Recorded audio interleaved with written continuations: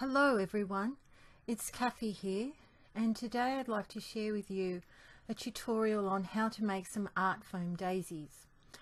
I was inspired by some flowers that I had growing in my garden which you can see here and I've got two types of daisies, these miniatures and these African daisies.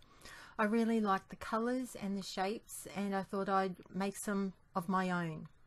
So to begin with I'm using the DIY Flora Daisy die and some white art foam. And here I'm just lining up the die with the art foam just so that I can cut out a strip that I will need to do the actual die cutting and once I've done that I just place the art foam over the largest of the daisies on the die and concertina fold it and then place it onto my sandwich and then run it through the die cutting machine as you can see. Once you do that you just remove it from the actual foam and it separates quite easily and so for each daisy you will need to die cut three white petals.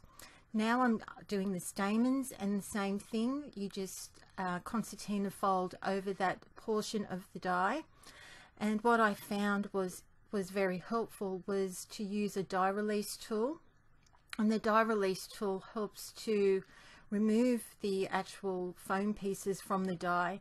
And you'll see here it also helps to separate the um, pieces of the die cuts itself without damaging the die cut pieces.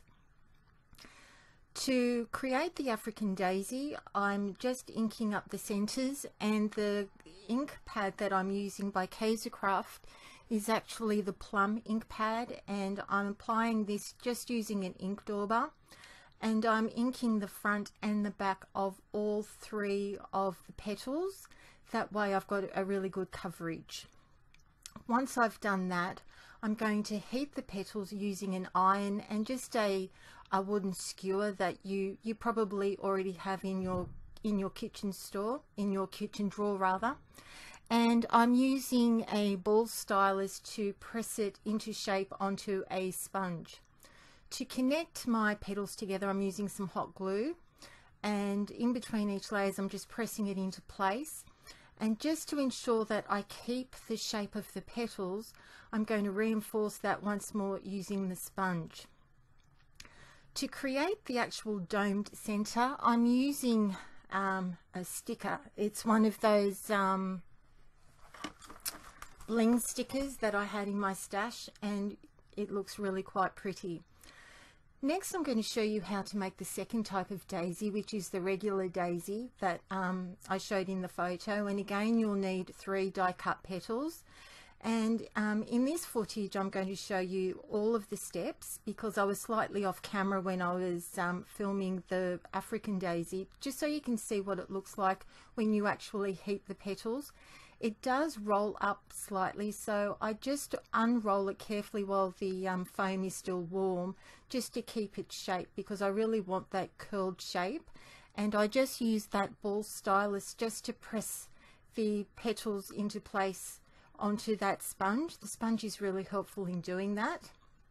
Next I'm going to be using the stamens and you'll need four and I'm using the metal skewer once more and just so that I can protect my fingers I'm just using the pointy bit to just to pierce the um, stylus just so I've got a grip and then I'm using the smaller part of my ball stylus just to make the shape and I'm going to do that for two of the um, center um, stamens just so that I've got two large ones because I want to create that round center and for the remaining two I'm going to heat them once more again piercing the center using that stylus. But I'll be using the blunt end of my wooden skewer just so that I can create a smaller coned shape when you press it into the sponge. And so I'll do that for two of the uh, center stamens so that when we actually come to constructing the flower those four pieces will fit nicely inside each other to create that nice ball center shape. So um, using that um, sponge just to um, create that shape. So once again I'm using a hot glue gun to connect the three uh, white petals and I've used no color they're just white I've just kept them as is.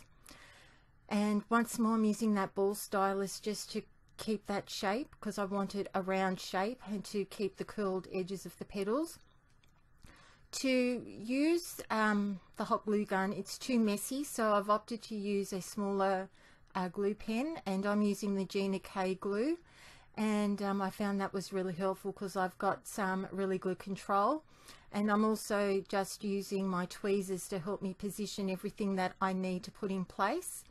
So I start by using those larger of the stamens and then I'm working my way in to the center using the smaller ones which were shaped with the blunt end of the um, wooden skewer and again using the the pen glue really makes it easy to apply the glue because you don't want it overflowing. So now I'm just re reinforcing everything into place and voila it's finished. So I was really happy with the way that these flowers turned out. So if you'd like to make some flowers, they're really easy to make and um, you can see that they don't take much time at all and they add a really nice touch to whatever project you'd like to make. So thanks for stopping by and have a wonderful day.